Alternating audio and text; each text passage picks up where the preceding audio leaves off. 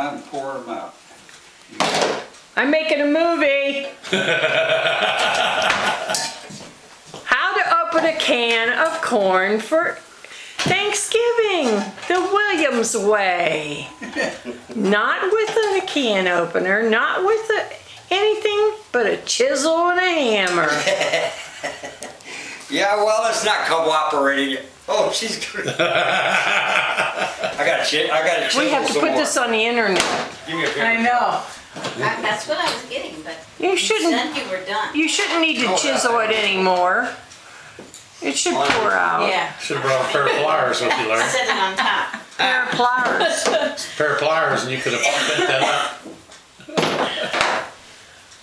Oh. They, they think of more and more things to do. Three Williams boys. How many Williams boys does it take to open a can of corn?